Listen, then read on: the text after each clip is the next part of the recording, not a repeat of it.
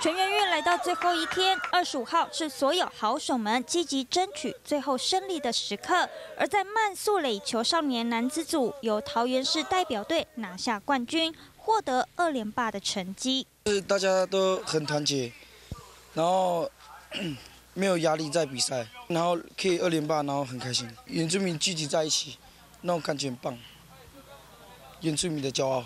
两年前我们也是在新竹，也是很幸运的拿下冠军。然后这次小朋友也是再接再厉啊，也在取得二点八的佳绩。这样参与慢速垒球竞赛的好手们来自十五个县市，共计二十七队前来角逐。比赛已进行到最后一天，公开女子组士气高昂的斗志，让气氛达到最高点。因为我是第一次参加，对，非常兴奋，对。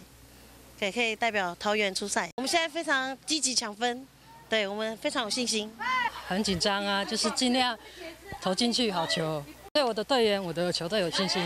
慢速垒球的裁判长表示，慢速垒球属于休闲类，若棒球选手没办法继续在职业生涯上，慢速垒球是最好接轨的运动项目。